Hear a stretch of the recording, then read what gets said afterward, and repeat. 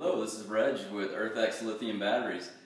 I'm going to show you how to properly reset an EarthX battery that's been over discharged. Over discharge, that means is you've drained the battery down to a very low level and the internal protection has activated. What our EarthX battery will do is at an extremely low level, it's like a switch inside, it shuts off.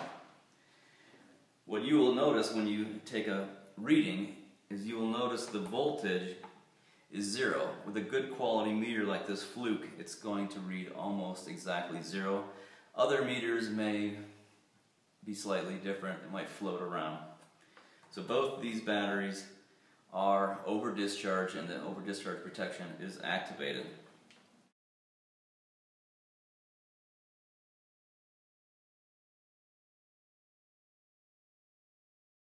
If you're using a battery charger like battery tender that checks for the voltage prior to charging, it will not charge. You can see here it is flashing red.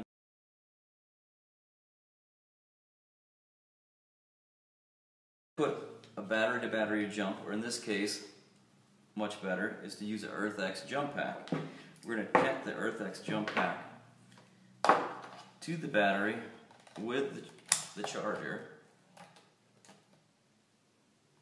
And as you see, the battery tender begins to charge. Solid light indicates that it's charging.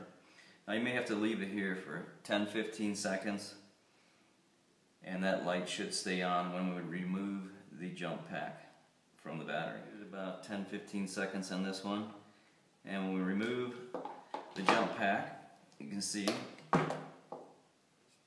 charger is still charging, solid red light.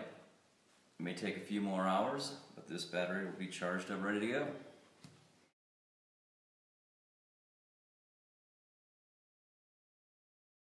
The second method, and the preferred method, is used to use the Optimate lithium battery charger. This is the TM471.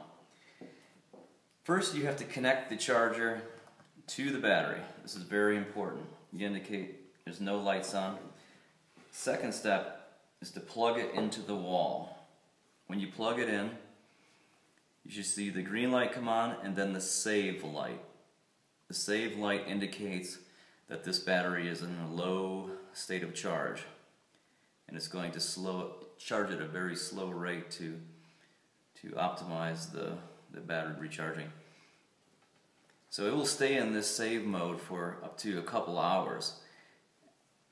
Once the battery voltage gets above 12 and a half volt, it'll switch to the charge, regular charge mode, which is the light on the right side there.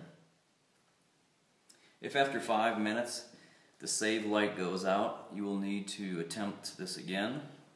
To do that, you'll just go and unplug it. You have to wait 15 seconds or so so that all the lights go out and then you'll plug it back in and it should go back into the save mode